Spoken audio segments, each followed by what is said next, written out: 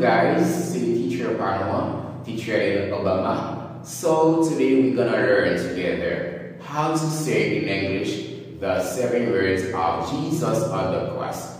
Je dis à guys, nous allons apprendre ensemble comment que nous capables de en anglais cette parole que Jésus a prononcée sur croix. So, before I move forward, let me say a special thank you to all my new subscribers.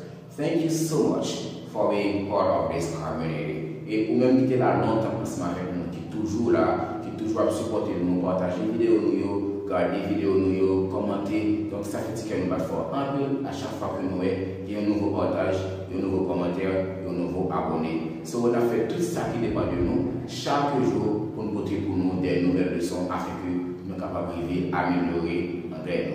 So let's switch to our subject today. How to say in English the seven words of Jesus on the cross.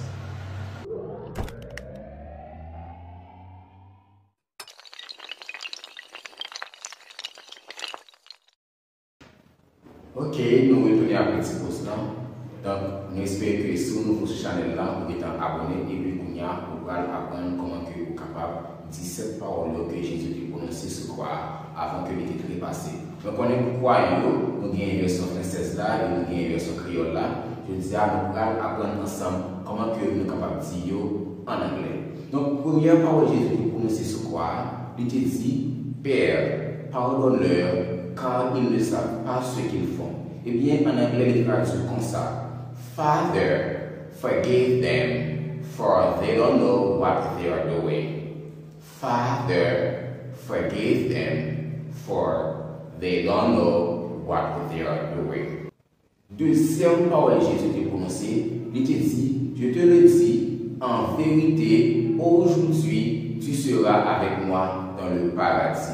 Eh bien, en anglais, il traduit comme ça, il dit, Assuredly, I tell you, today you will be with me in paradise. Assuredly, I tell you, today you will be with me in paradise. Et troisième parole Jésus prononcée sur quoi? Il te dit, femme, voilà ton fils. Fils, voilà ta mère. En anglais, il traduit comme ça. Woman, behold your son. Son, behold your mother. Woman, behold your son. Son, behold your mother.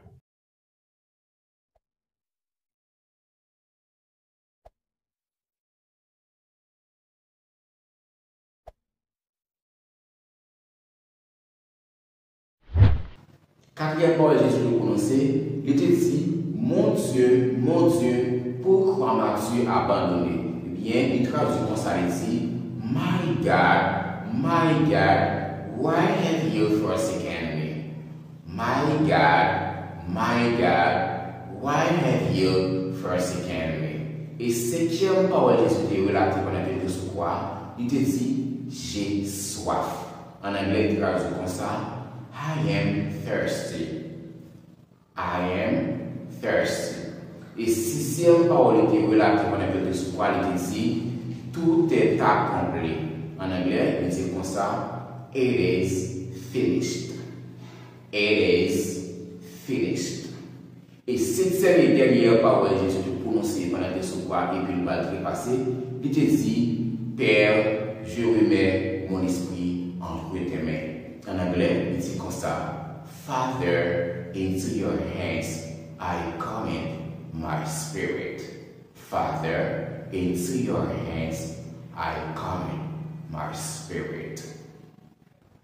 Okay guys, thank you so much for watching the videos with the hand. So before leaving, I'm going to give you three vocabulary words according to the Easter. Que vous avez regardé la vidéo jusqu'à la fin. Avant que Marie nous allons trois vocabulaires qui ont rapport ensemble avec Pâques là. Je connais des gens qui connaissent qui Jean Pierre dit Sainte Seine en anglais et il y a d'autres qui connaissent qui Jean Pierre dit Bon Vendredi Saint. Il y a qui connaissent qui Jean Pierre dit Joyeuse Pâques en anglais. Bien pour nous dire Sainte Seine, je dis Last Supper. Last Supper. Last Supper. Et pour nous dire Bon Vendredi Saint, je dis Happy Good Friday. Happy Good Friday. Et pour me dire joyeuse pas finir, je me dis Happy Easter. Happy Easter. C'était amis pour là, professeur pour là, teacher Obama, c'est un plaisir de nous aujourd'hui pour enseigner nous comment que nous sommes capables de dire cette parole que Jésus a prononcée ce soir avant qu'elle était passée et puis nous demandons trois vocabulaires qui ont rapport ensemble avec Pâques. nan kwazi nan lot videyo pa gen yon problem nou, pa fè tout efor chakè jou pou mkote pou nou de nouvel videyo sou la weekend in Rovio English. Bye bye.